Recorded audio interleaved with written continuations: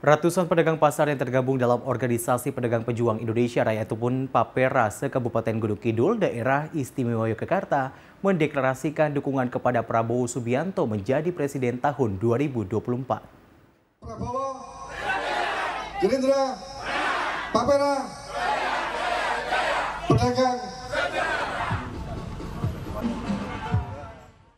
Dalam deklarasi ini, ratusan pedagang pasar yang tergabung dalam Organisasi Pedagang Pejuang Indonesia Raya atau PAPERA se-Kabupaten Gunung Kidul, Daerah Istimewa Yogyakarta, dengan tegas menyatakan dukungan mereka untuk Prabowo Subianto sebagai calon presiden pada Pilpres 2024. Deklarasi ini turut dihadiri oleh Ketua Pembina DPP Papera Sudaryono, Ketua Umum DPP Papera, tokoh politik, tokoh masyarakat, para pedagang dan pelaku UMKM Kabupaten Gunung Kidul. Deklarasi yang dihadiri oleh ratusan pedagang dan pelaku UMKM ini berlangsung dengan meriah dan tertib pada 23 September 2023 di Kabupaten Gunung Kidul, Daerah Istimewa Yogyakarta. Ketua Pembina DPP Papera Sudaryono mengatakan dukungan bagi calon Presiden Prabowo Subianto terus mengalir dan semakin menguat.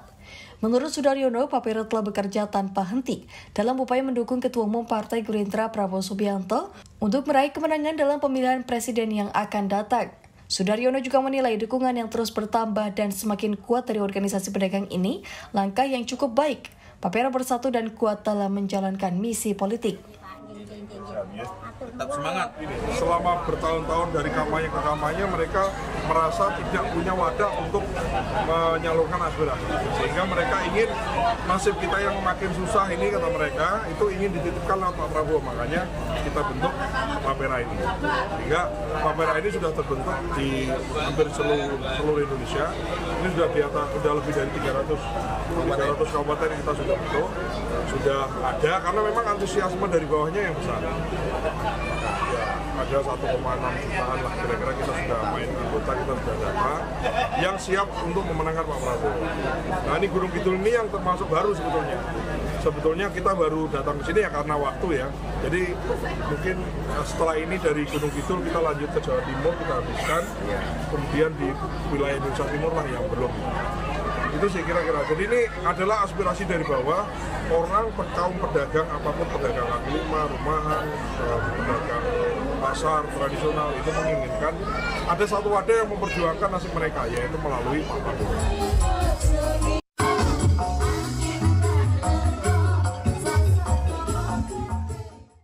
Sementara itu, Ketua Umum DPP Papera Don Muzakir menjelaskan bahwa dukungan yang kuat dari organisasi ini terbentuk atas dasar kepedulian yang mendalam dari Prabowo Subianto terhadap nasib para pedagang.